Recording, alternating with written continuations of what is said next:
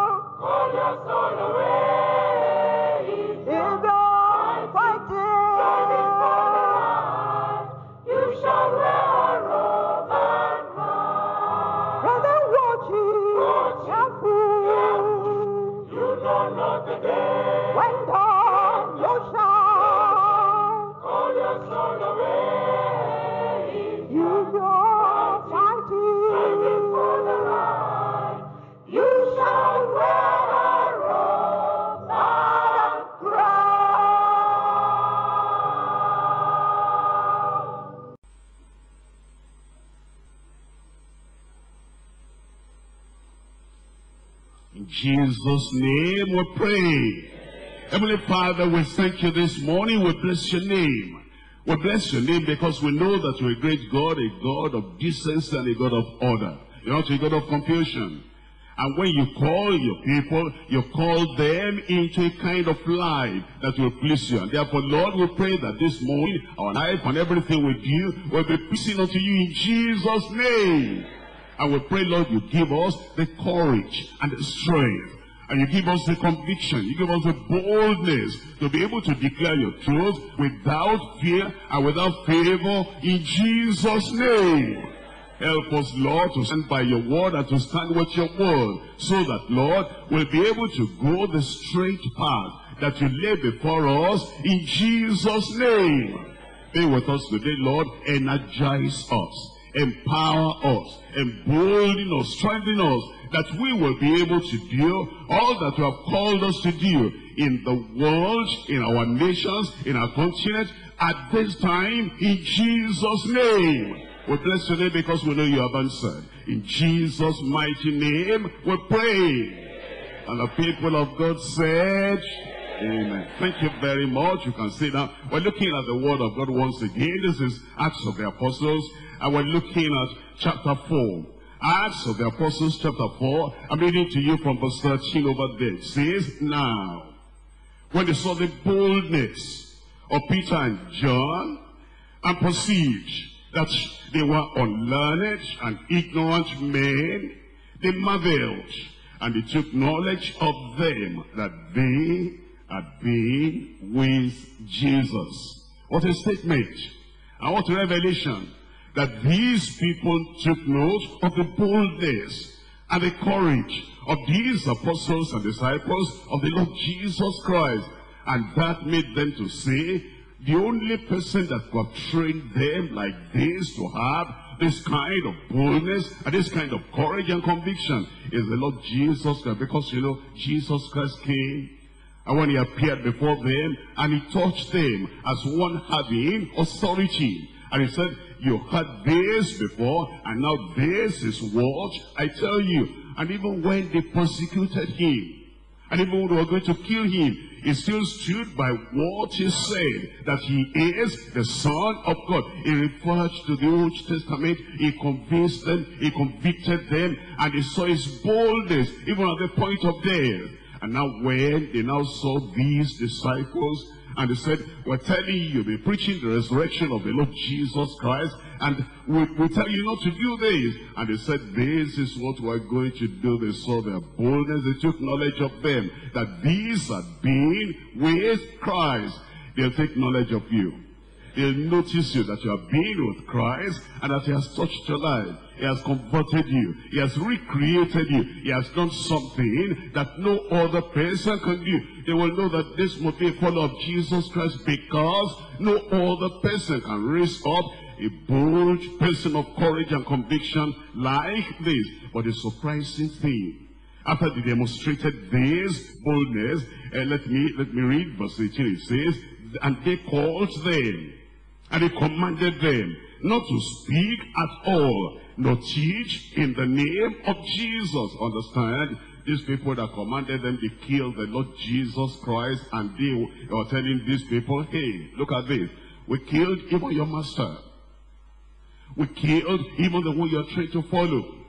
And if we could do that to your head, don't you think we can do something to you, even though they knew that?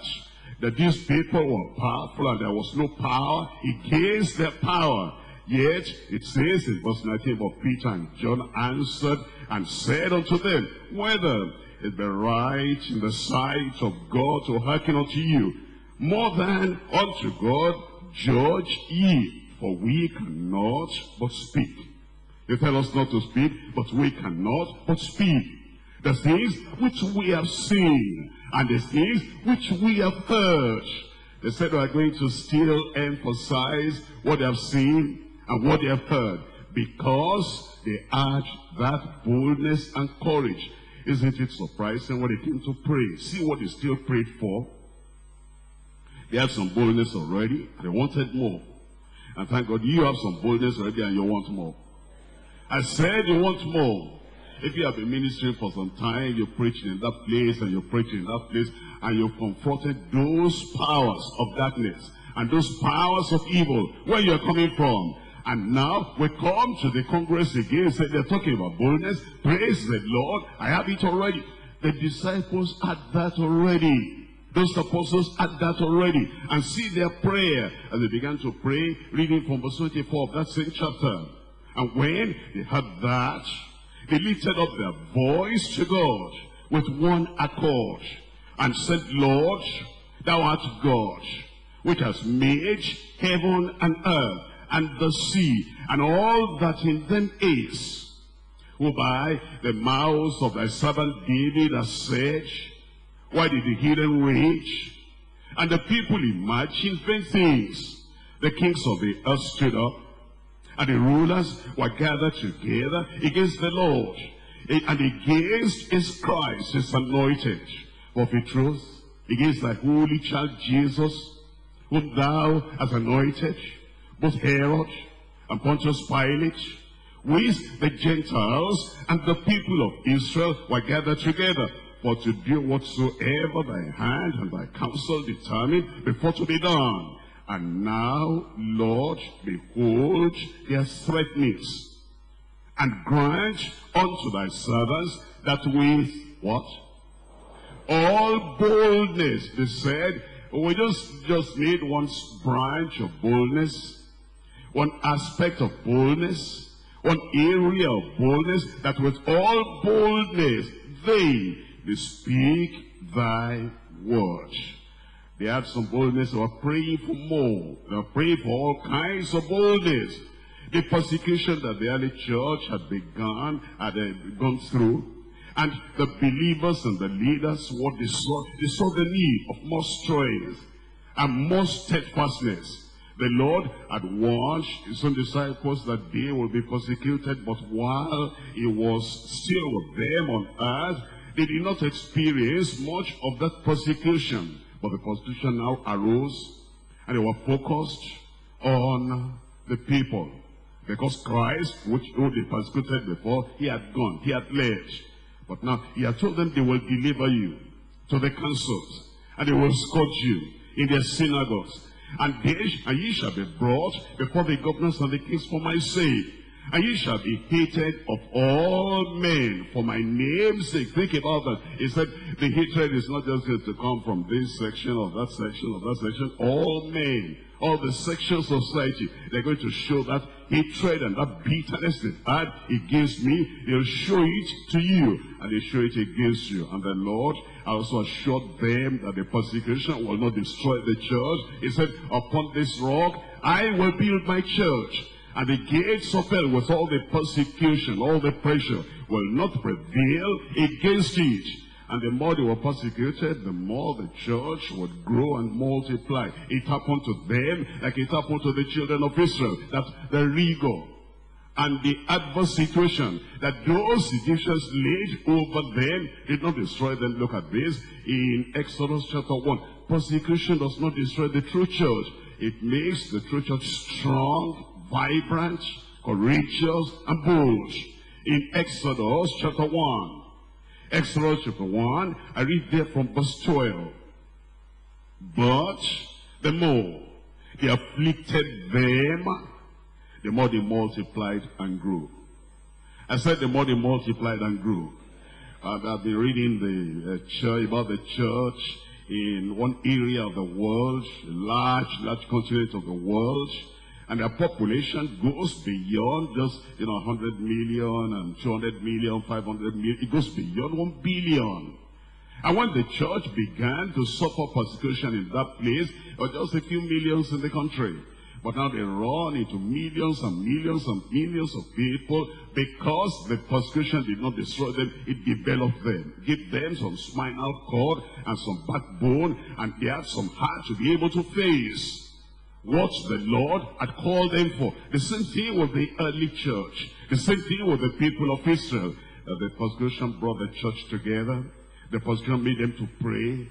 The persecution made them to see the power of God in their lives. The persecution brought strength, the strength to stand and to remain faithful in their calling to preach uh, the gospel and also to be able to win others. You would have thought that people were only away from that church because of persecution, but no.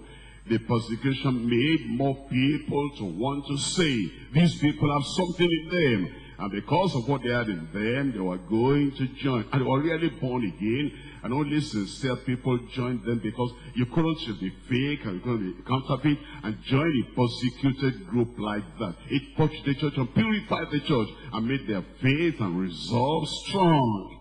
We're looking at three points. Number one, the persecution of believers and the preachers. The persecution of the believers and the preachers. We're looking at it from Acts of the Apostles chapter 4. Acts of the Apostles chapter 4, you'll see the persecution that they laid upon them. It says in Acts of the Apostles chapter 4, I'm reading there from verse 1. Acts chapter 4 verse 1, it says, and as they spake unto the people, the priests and the captain of the multitude of the temple, and the Sadducees came upon them, being grieved that they taught the people. That's the reason for the persecution. If they were just quiet and they were afraid and they stayed in, inside their rooms, there was no witnessing, there was no preaching, there's no getting people out of darkness into the light and no getting them out of the hand of Satan onto the hand of the Lord Jesus Christ. If they didn't do anything like that, there'll be no persecution. It was the ministry. It was the teaching. It was the preaching. It was the exaltation of the Lord Jesus Christ. It was bringing them to the Lord Jesus Christ for salvation, for eternal life, preparing them for heaven. That's what brought the persecution. That's why it says in verse 3, and they laid hands on them and put them in hold until the next day, for it was now eventide. But look at verse 18. And they called them and commanded them that they should not, not to speak at all, nor teach in the name of Jesus. In that verse 18, do you see persecution there? Of course, yes. The imprisonment was a little thing. Not only believers go to prison. And the imprisonment was just a normal thing for people that societies don't agree with. And society will go and incarcerate them and put them. They're not fit for the society. Therefore, they put them there. Not only believers, there are other people there. The physical suffering in the persecution was small. But the greatest persecution somebody can put on you is to hinder you and limit you and shut up your mouth and not to preach the gospel. And so when he commanded them that they should not preach the gospel, that was a great persecution. And if they were able to endure the persecution of refinement, confinement into a particular place, these other ones too that will shut up their mouth, they knew this was a greater persecution. And therefore they said in verse 19, Peter and John answered and said unto them, It's a people of power, political power. These were people that could take their lives. But he looked at them with courage and he said, in verse 19, whether it's the right in the sight of God to hearken unto you more than unto God, you judge that. But we cannot but speak the things which we have seen and heard. That's the persecution. I pray that when your time comes, you will overcome. Look at what Jesus had said in chapter 15 of John. John chapter 15. In John chapter 15, here is what he says in verse 20. Remember the word that I said unto you. The servant is not greater than his Lord. If they have persecuted me, look at the word. They persecuted me. They followed him to every city. You know, sometimes are people that they run from this city and they run to another city. And when you do that, you think that you know Satan is here, Satan is instigating the people here, and therefore, since they're instigating them here, I'm going to run to another place. Your persecutors will recognize you're running away from them. You make them strong. And every time you run away from problem, you become weak. Every time you run away from an oppressor, a persecutor, you put power in his hand and you become weak because you're running away and your spine will never be developed and your courage will never be developed. But when there's persecution there and the Lord wants you to be there, you stay in that same place.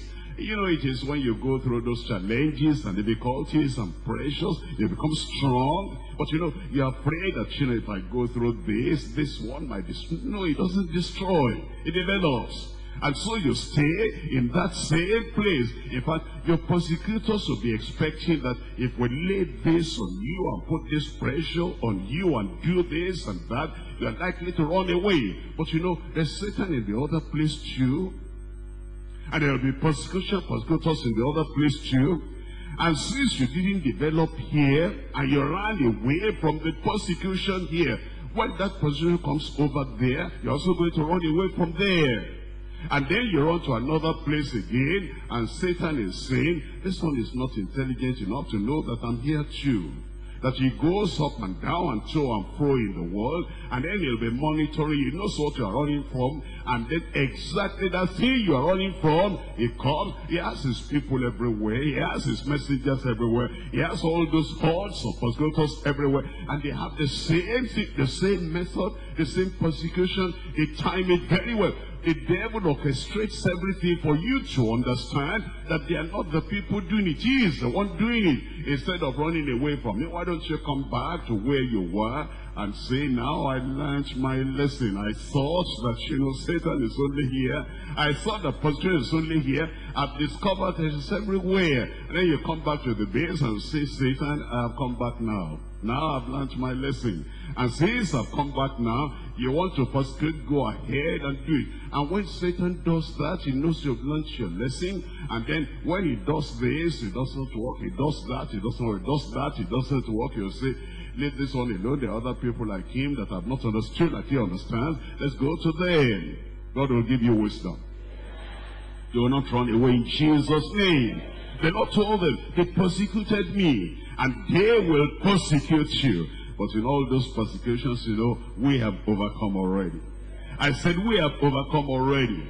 That's why you find in Acts of the Apostles chapter 8. Acts of the Apostles chapter 8, I'm reading from verse 3. As for Saul, He made havoc of the church, entering into every house and healing men and women, com committed them to prison. Therefore, they that were scattered, not that they left, not that they ran away, they were scattered, they were ejected out of their houses, out of their communities. They were literally driven out, but they had developed some spine and some courage and some conviction. And it says, when they were scattered like that, uh, they, they should understand. This, the reason for the persecution was the preaching of the word. That's why that's why Saul went to every house and laid hands on them, and he was taking them to the prison and scattering them and driving them away. But everywhere they went, what were they still doing? Tell me out loud.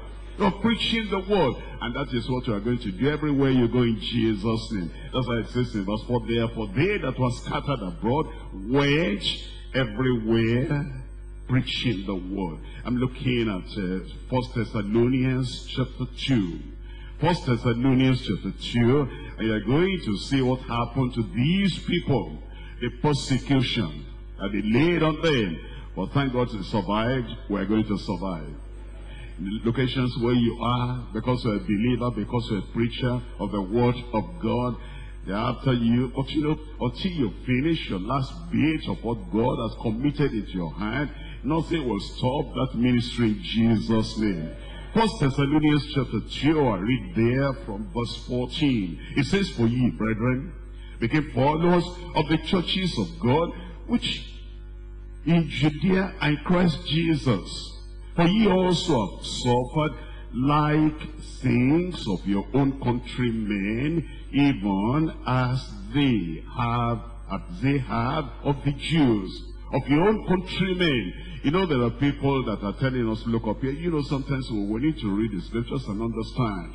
They're telling us that, you know, if you put, um, let's say, state overseer of a particular zone, make sure that it's a native of that zone, or zone. And therefore, if you put him there, there will be no persecution. And so, that means that the, in Nigeria here, for illustration, we have some of our overseers from the southwest. They say, all the overseers from southwest, let them stay in southwest. And they say, all the overseers in southeast, let them stay in southeast. Don't allow any southeast overseer in any other part. You know why? So that there'll be no persecution. And then all the overseers of the northeast, let them be indigenous of the northeast. All the overseers of the northwest, let them be indigenous of the northwest. And they say, if we can do that, then there will be no persecution. Everybody will be preaching the gospel, and they will be able to win this nation for the Lord. Come on now and read verse 14 and read it intelligently and read it with understanding and understand where the persecution here is coming from. And also remember that Jesus was a Jew and the Jews persecuted him. And the disciples, the apostles, they were Jews. And the Jews persecuted them. And remember Stephen, he was a Jew. And the Jews persecuted him. And remember that all those people in Jerusalem that were scattered abroad and they went everywhere, they were Jews and Jews persecuted them. And now we come to this in chapter 2 verse 14. For ye, for ye, brethren, became followers of the churches of God, which in Judea and Christ Jesus. For ye also have suffered like things of who? Tell me out loud. If there were southeast people in our country, they were persecuted by southeast people. If there were northeast in our country, they were persecuted by northeastern people. If there were southwest, they were persecuted by southwestern people. That's what he's saying. That you're persecuted of your own countrymen, even as they have of the Jews. That means then it's not like, you know, they tell us to reorganize our church and you know, put only this, one here, only that, one here, only that, one there, so that there will be no persecution. Persecution would always be there. If we're preaching the truth and we're standing on the word of righteousness, that's the reason why sometimes you have to explain all this is because there are some people that are agitating. Give us our man, give us our man. Who is your man? He is my man too. All the all the overseers, they are my men, and they are, you know, they're my disciples, and they're my children, they're my students, and I'm training them. And anywhere we need them, that's why we're going to put them in Jesus' name. In a good amen. And we don't want to be political in our church you know, politics trying to come in and say that, you know, don't worry, we'll vote for you and you will be there. Then if you are the people that appointed them, they're not under my leadership. They're not under my instruction. They're not under my supervision. It's like, you know, you appointed them and then they'll be pleasing you. They'll not please the Lord. They'll not listen to me. That's very dangerous for you as a church. And so, wherever we are and whatever we're doing, when the Lord says, this is where we are, that's where we're going to be. But you know, the pastor has sent me here and he knows that there's going to be persecution there. How can he send me there? Aye, but if you are in your place, persecution will come. A different kind of persecution could, that could be more terrible than the one you are, you're going to have in that other place. Let's just uh, give ourselves to the Lord. And I pray that as we do that, nothing will shake our convictions in Jesus' name. I'm looking at Romans chapter 8. I'm reading from verse 35. Romans chapter 8, verse 35. Of course, persecutions will be there. But in all these things, we are more than conquerors through him that loved us and called us. And you'll be more than a conqueror in Jesus' name. Romans chapter 8, I'm reading from verse 35. Who shall separate us from the love of Christ? Shall tribulation, give me an answer, or distress, or persecution, or famine, or nakedness, or peril, or sword, as it is written, for thy sake we're killed all the day long. We are counted as sheep for the slaughter. Nay, in all these things we are more than conquerors through him that loved us. For I am persuaded that neither death, nor life, nor angels, nor principalities, nor powers, nor things present, nor things to come, nor height, nor depth, nor any other creature shall be able to separate us from the love of God, which is in Christ Jesus our Lord. You want to say an amen? Nothing will separate us in Jesus' name. I come to point number three now is the prayer for boldness and power. The prayer for boldness and power. You see, when the challenge came on them, they didn't say, this choice we have made, this commitment we made, this consecration we made to preach the word of the Lord. Yes, he told us there'll be persecution, but we didn't know it would be this hard. He told us there'll be persecution. We didn't know it would be this continuous. We didn't know that it will just persist and persist and persist. He said that all they said was, oh Lord, give us boldness. Give us courage. When the load is heavier, give us a stronger backbone, a stronger spine.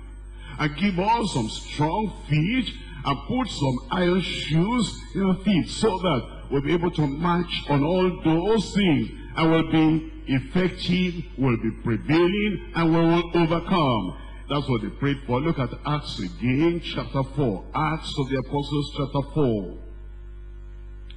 And I'm reading there from verse 28 and 29. For to do whatsoever thy hand and thy counsel determined before to be done. And now, Lord, behold their threatenings. And grant unto thy servants that with all boldness they may speak thy word. Did God answer them? I said, did God answer them? Look at verse 31. And when they had prayed, the place was shaking where they were assembled together. And they were all filled of the Holy Ghost and spake the word of God with what? With boldness. their boldness. Moses needed boldness in the sight of Pharaoh. Joshua needed boldness of those Canaanites. David needed boldness before Saul and also Goliath. Jeremiah needed boldness in the midst of the Jewish people. That were being taken captive to Babylon, the false prophets too. And Ezekiel needed boldness because the Lord said that they're like thorns and briars, but I've sent you unto them.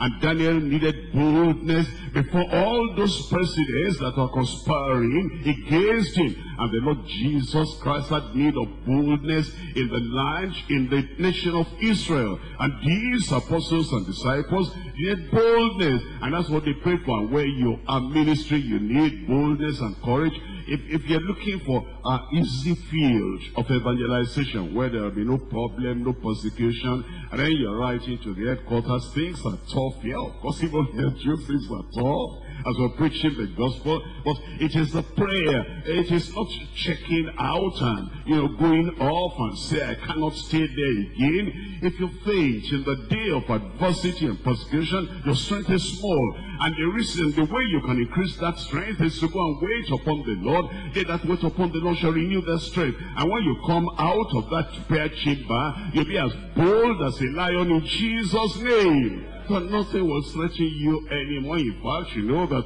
you know, this day is going to come, and next week is going to come, and next month is going to come. And because you know it's going to come, just like our students who are in, in school, and they're still studying, they knew that testing time will come. There's no doubt about that. And because the new testing time will come, that's the reason they study. You know, they don't just study this and that. They study things that are relevant to the test that will come. You ask any of our children when they're studying and preparing for exam, and there are a lot of other things they could read. They are not going to read all those other things. They're going to read things that will prepare them for the test and the exam ahead of them. The same thing with believers. When you know that persecution will come and challenges will come, I know that the pressure will come, there are many, many things you can read. You can read about this, about this, about that, but then, you know, this is where you are, and this is the kind of challenge that will come, and this is the kind of persecution that will come. You will read, you will study, you will pray, you will prepare yourself in line with what is coming. And when you do that, you're going to be an overcomer in Jesus' name. They prayed for boldness and Jesus and the Lord answered their prayer and gave them boldness. And uh, look at Paul the apostle.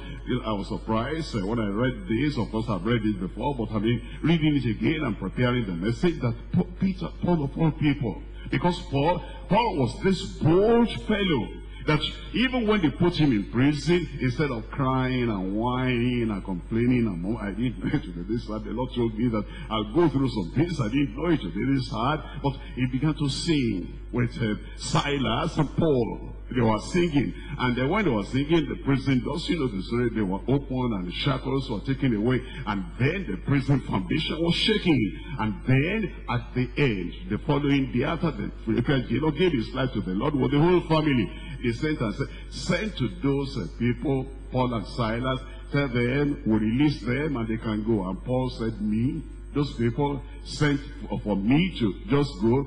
You go tell them I am here until I see them. They will have to come and take me out of this place. Otherwise, I'm not going out of prison. Think, think about a man like that.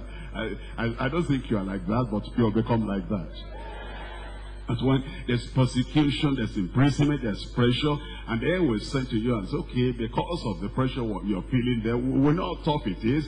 We, just because of that, not because of any other, can we transfer you out of this place? And you said, sir, if it is only because of the pressure, I'm enjoying it. In fact, I'm growing some wings now. I'm growing some backbone now. I'm having some kind of strength I didn't have before. Now, lead me here. I want to be here. I want to see more of this. That's the kind of person Paul the apostle was. And I pray that God will put something in your spine in your backbone that you'll be able to stand in the midst of those challenges in Jesus' name. But the surprising thing, the surprising thing that Paul could ask for prayer to be bold. I said, what? You're bold already. He said, yes, greater challenges are coming. I need greater boldness. He said, greater things and pressures are coming. And I need something greater so that I'll be able to, whatever challenge comes and whatever may be, what the devil will try to do, that boldness will increase. When the challenges increase, then the grace will increase. When the pressures increase, then the grace will increase. And when all those things, will increase in our lives, the grace grace of God, the power of the Lord, and the strength of the Lord will increase in our lives in Jesus' name. It's just like when we were in the primary school, our test was this small, and then our knowledge was just like that. As we went on in life, from school to school, from class to class, then our test became upgraded and higher. Our trials became higher, our persecution became higher, and because they became higher, our knowledge too was increasing. Our ability too was increasing. Our confidence too was increasing. When the boldness remains at the same level, if challenges become greater, if persecution becomes greater, you will fail and fall. But, and you say, but I have courage. Yes, it was the courage of yesterday. It was the courage of last year. And the courage of yesteryears will only match the persecution of yesteryears. But when the challenges increase, our God is still there.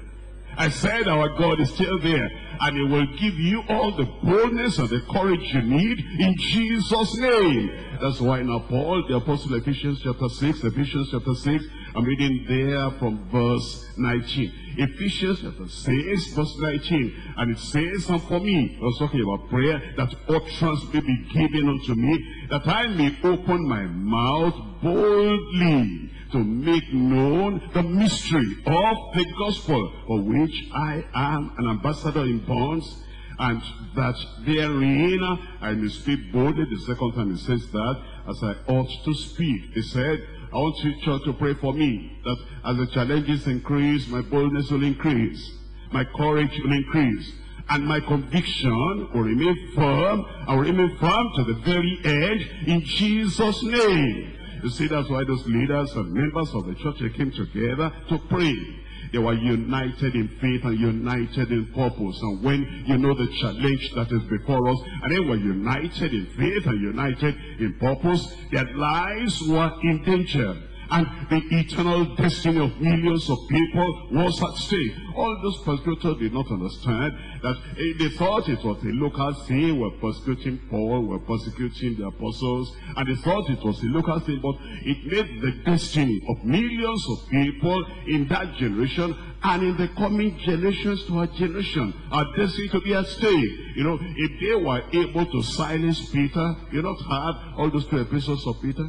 And if they were able to silence John, you not have the book of Revelation and then all this through them. If they were able to silence Paul the apostle, all those Pauline epistles you not be able to have. And it was going to derail or destroy the destiny of the people in their generation and the people in the coming generation. That's why Paul the apostle said, we cannot afford to be to shake in our conviction, in our boldness, and we cannot afford to give in or to give up. We must keep on, and you'll keep on in Jesus' name. Only the power of God could overcome all those persecutions. That's why they prayed and they said, and now, Lord, behold their threatenings. Because they reminded reminded the Lord that the threatenings were not against them, but against God, and against Christ, his anointed, and against his will, and against the council, and his kingdom. The creatures conspired against the Creator. The persecution was not merely to prevent the success of their preaching, but it was to bring to naught God's eternal counsel and God's eternal plan. That's what they called God into the scene. And they said, Lord, see what they're doing. They're trying to make you a liar. They're trying to say that what you plan for the compassion of the Jews and the compassion of the Gentiles will not happen. You know, when you persecute ministers of God, you want them to shut up and you want them to hold on, you want them to step back, you want them to uh, kind of pack their load and run away. You're not just, uh, you know, destroying that. man. Of course, you destroy the man if he yields to that. And you're not just oppressing that man, you are hindering the, the, the possibility of millions of people getting saved. And when you do that, your locality, you do that in any other place, you're not just, you might be enjoying yourself, that you know, because you know, wicked people enjoy when other people suffer, when other people are oppressed, when other people are under pressure. But you're not just, uh, you know, hindering that person, you are hindering the salvation of millions of people. That's why they said, Lord, look at this, because this is going to hinder your purpose, and this is going to hinder your counsel, your eternal counsel. And he said, Lord, we don't want that to be done. We'll rather die and give our lives to have the fulfillment of the counsel of God and the plan of God. But if we're going to die, we need boldness. You know, you cannot just volunteer to die if you don't have boldness. Everybody is running away from death. The only people that run towards death are the people who are bold. And you're going to be bold in Jesus' name.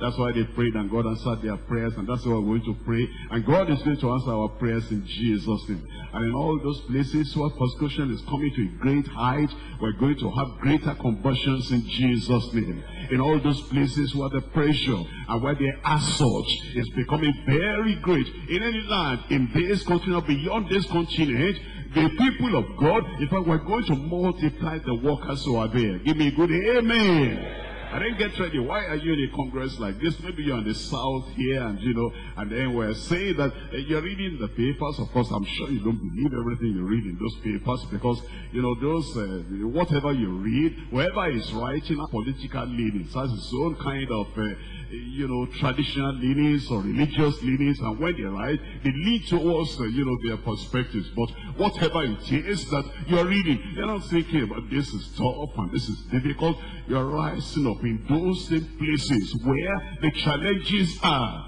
You know, if it were not, uh, if it were not for the fact that I have to be, you know, around here and around that other place, I would even move my base myself and go to those places and say, now, you children, here I am. Where are you? Who are going to follow me? Where are you? I'm asking you now. Who are going to follow me? Where are you?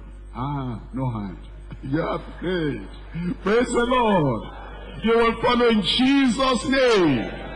And you know, when we go there, in fact, uh, there's no time for me this morning to tell, to show you this. They, they, wanted to kill Jesus. Where is he? Where is he? And then when they wanted to kill him, persecution, they said, this time, finish. We're going to get him this time. And then they were in the feast and they were looking, where is he? Where is he? All of a sudden, the person they want to kill, he showed up. And when he showed up, the put to arrest him, will finish him this week. Then he was already preaching to all the people. Then all the people, is this not the man they wanted to kill? See how he's speaking boldly, and nobody has touched him. And his people to arrest him, they were there. And then they listened. After they listened, not only one, what do you think? This man is talking from heaven. How about you? I'm convicted. How about you? I can't talk. Then they went back. And when they went back, they said, did you see him? Of course we saw him. Where is he? Why didn't you bring him? They said, by the time we got there, he was talking already. And no man ever spoke like that man. The person you know is Moses, but I'm telling you, that man is higher than Moses. They said, you too, have you become his disciple? And then they ran, catch him, catch him. And Jesus just walked majestically in the midst of the people who wanted to catch him, and they couldn't catch him. They will not catch you. I said they will not catch you. Hey, people are afraid. What am I going to do? Just keep on preaching. We're going to keep on preaching in Jesus' name. If you don't have a trouble, if you don't have persuasion, come and see me after. I'll lend you some. I pass someone to say, you need some persecution, you need some challenges because you're going to be weak and you're going to be sloppy, you're going to be flabby. They come to me after and say, Pastor, you said, you know, you're going to give me permission. I said, I can give you some. Then I, you know, put the pen and send you to a particular place. Not like the, what David did to the husband of uh, Bathsheba. I said, put his man there. I'm not going to kill you, but you're going to, you're going to be strengthened when you get there. And I'm telling you, this church, we're marching on in Jesus' name.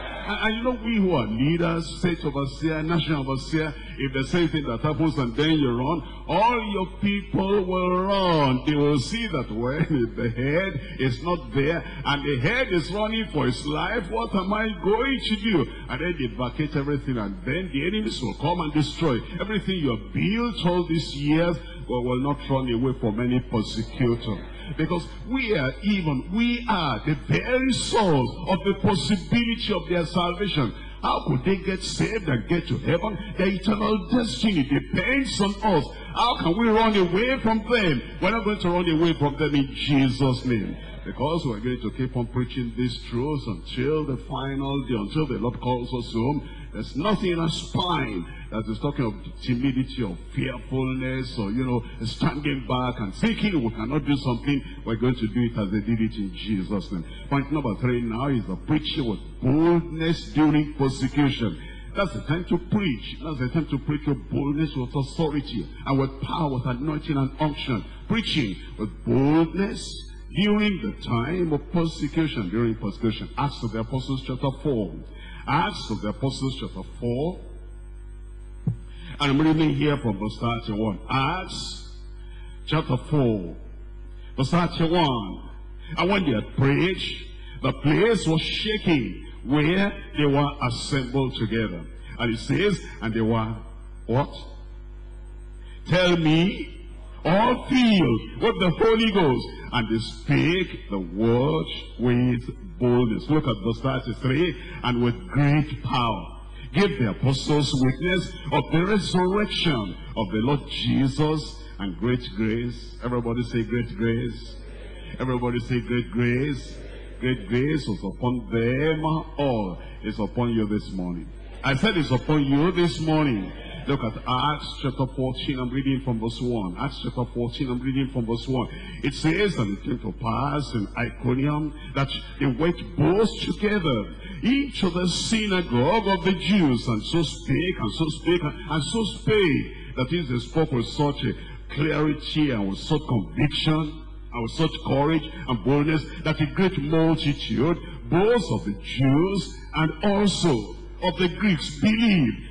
But the unbelieving Jews stirred up the Gentiles amid their minds evil affected against the brethren. You see, persecution came in verse 2. Look at the result in verse 3. Long time therefore.